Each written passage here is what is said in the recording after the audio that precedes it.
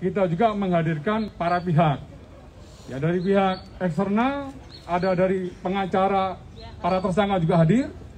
Kemudian dari pihak eksternal juga dari komisioner Komnas HAM mengikuti secara runtut dari TKP pertama, kedua dan TKP ketiga. Demikian juga dari Kompolnas juga mengikuti dan dari LPSK juga melakukan pendampingan terhadap Barada E ya dari mulai TKP 1, TKP 2 dan TKP yang ketiga.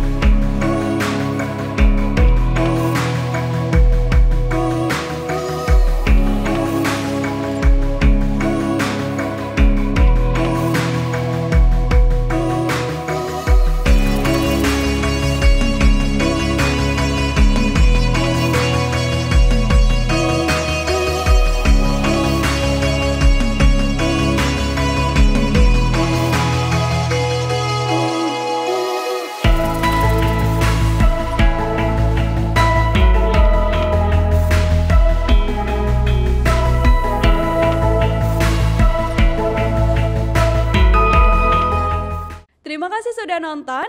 Jangan lupa like, subscribe, dan share ya.